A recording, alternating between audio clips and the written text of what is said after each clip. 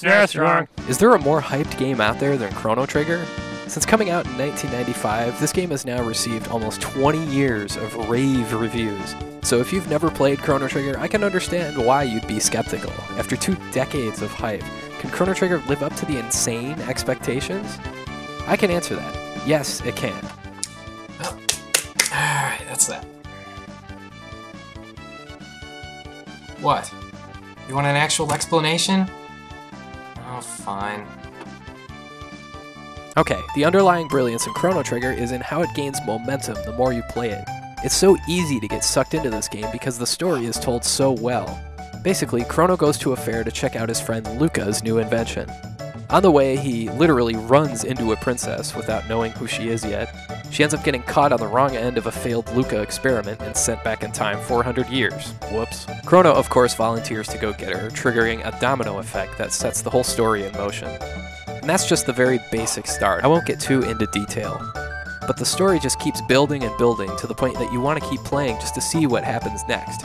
And not once is there a moment as a player that you say, well, now what do I do? It's always intuitive. And just as an aside, if you've never played this game before, just wait until you get to the Zeal Kingdom in 12,000 BC. The music, the atmosphere, and the presentation are just incredible. You just want to hang out there forever. Anyway, eventually the game splits off into several different side quests, but it remains very straightforward in telling you what to accomplish.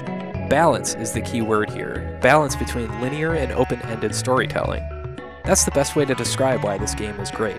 Everything is balanced so well. The enemies are never too easy or never too tough, and there's no need to level grind at any point. As you level up and gain experience and learn spells, the enemies match your strength, so it's good balanced difficulty. Not that this game is hard at all, but it's not exactly easy either. The boss fights in particular are perfectly done. Each one feels like an event, and not like Final Fantasy VI, where more often than not, it just seemed to say, well, here's another boss for you, you know, out of nowhere. Magus, Black Tyranno, and Lavos in particular are really built up as big deals. For example, I really like how you have to take out Magus's underlings like Slash, Flea, and Ozzy before you face him. Instead of accumulating just strength and experience points like most RPGs, Chrono Trigger rewards you with combo attacks with your teammates. Some of these are flat out awesome and powerful as hell, like Ice Sword 2,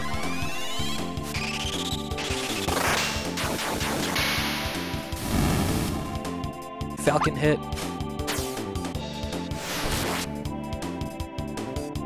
Delta Force,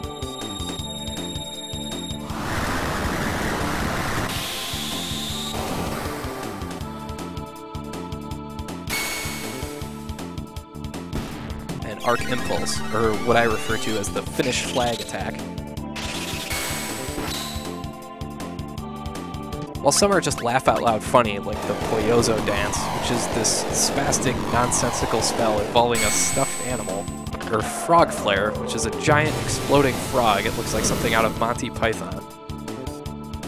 Accumulating these tags is really fun, and it keeps the momentum of the game going. It also contains one of the most ingenious inventions in gaming, the New Game Plus option. So after you finish the game, you can go back in time as often as you'd like with the same stats, gear, and weapons, and try beating the game from a different point in the timeline. There are 11 different endings you can achieve, and most of them are well worth it, especially the one with the messages from the development crew. So that gives it replay value out the ass. The characters themselves are a strange dynamic group, and they're all distinctly different. Some are cliched and some not, at least not yet.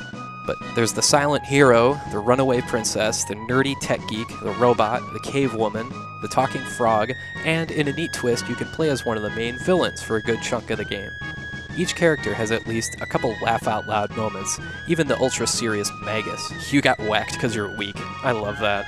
One particular aspect I don't think can be overstated is the main villain, Lavos. Rarely in a game, especially in an RPG, does a boss actually come across as invincible. Lavos is like the Terminator. It barely says anything. You can't reason with it. It can't be stopped, and it won't be stopped until you are dead and everything is destroyed.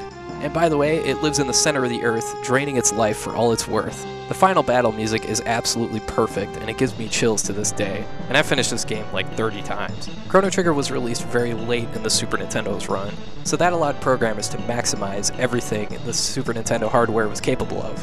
And I'll be damned if it didn't succeed doing that. This is about as technically advanced in terms of overall length, visuals, and sound as any Super Nintendo game gets. So yeah, Chrono Trigger is definitely the total package. It's got a great sense of humor. It's never boring. You truly never know what's going to happen next. There's a crazy amount of depth in both the story, the characters, and with the items and the gear. There's tons of replay value with all the endings, and especially in the DS version with all the bonus content. The music is top notch with memorable themes created for each major character and for certain events in the game. All those factors add up to one thing, and that's that Chrono Trigger is the best game the Super Nintendo has ever produced. And yes, it does live up to the hype.